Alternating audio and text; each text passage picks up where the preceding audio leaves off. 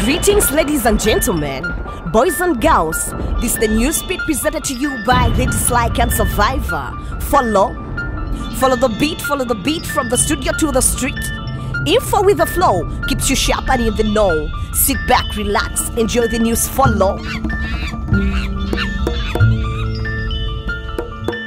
The Uganda Communication Commission has finally announced that Uganda is now ready for digital migration, four months after it was supposed to switch from analog transmission.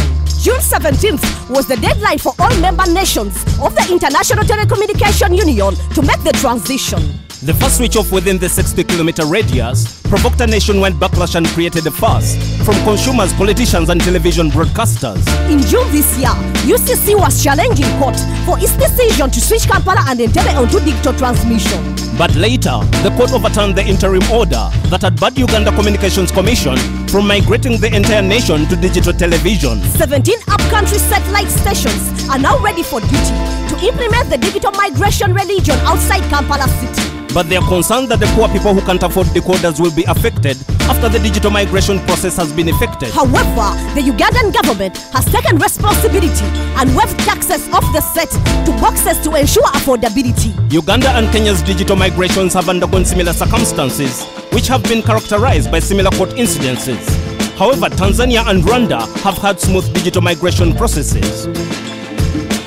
Africa's rail network was constructed by its colonialists, and the first network was started in Egypt. Reasons for the project were to stimulate trade and boost the African economies, and to assert control over the natural resources in the colonies. In many African cities, trains are no longer in operation. Minivans are now the traditional means of transportation, but there's a new metro train in the city of Addis Ababa, the first of its kind in sub-Saharan Africa. The modern train that runs on electricity has the capacity to bring 60,000 people to the city. Now passengers can board two lines that connect to all suburbs, and at less than half a dollar it costs less than taxi cabs. The metro train that runs between 6 a.m. and midnight daily uses energy generated from dams all over the country. The $475 million project is a joint collaboration. It's a China-Ethiopia bilateral cooperation. The initial stage of operation is overseen by the Chinese as an exchange of skills and culture between the two countries. The rail will connect with the national train system upon completion, and by 2025, it's expected to have at least 5,000 kilometers across the nation. The metro service system has transformed the way people get to work in the city, and the long-term goal is to connect it to Sudan, Gabon, and Djibouti. Rap music has become the ultimate means of expression. Our reporter Jess Sentino is here with a full report.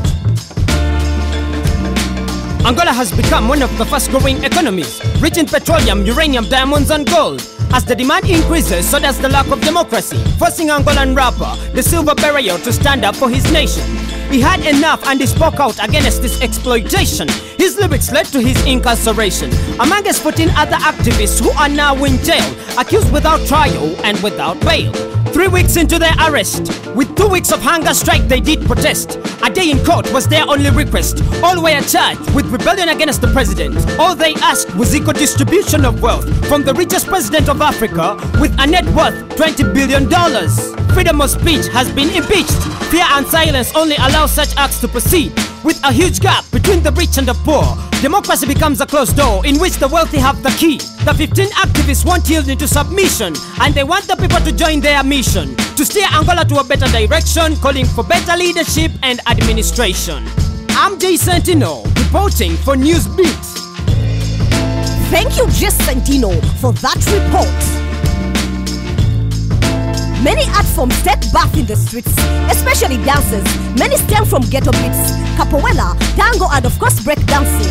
When money is low and crime is not an option, you get high and down lows, twist, freeze, and move to the fashion. In Uganda too, among the city youth, breakers and their crews know all the power moves. One event stands out by its reputation. It's the Breakfast Jam, a yearly B-boy and B-girl celebration. Next Saturday and Sunday, join them in one day at the YMCA from 3 p.m. to 7 p.m. on the 21st and 22nd of November.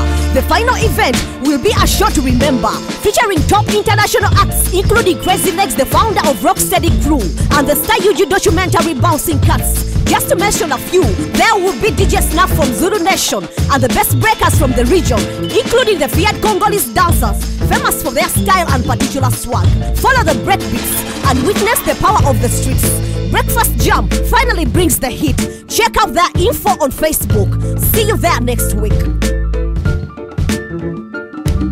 That was the news on the beat. Next week will be another hit. Still Lady Slyke and Survivor. Reporting live and direct with love and respect. Follow the beat, follow the beat, follow the beat, follow the beat. Follow the beat. Follow the beat, follow the beat, follow the beat, follow the beat. Follow the beat.